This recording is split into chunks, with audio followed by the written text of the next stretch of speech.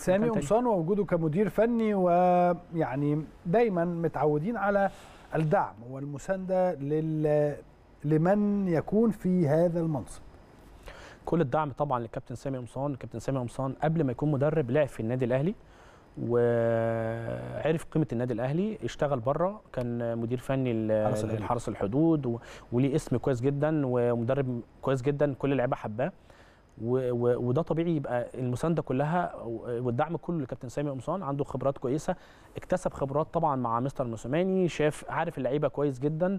آه، كلنا هنسانده كلنا هندعمه. في نفس الوقت آه، يعني كل المدربين يا كابتن إسلام اللي هم. كانوا رجل تاني آه، من فترة كبيرة جدا قادرين إن هم يمسكوا النادي الأهلي لأن أنت النهارده موجود في الجهاز الفني للنادي الأهلي يبقى أنت قد المسؤولية.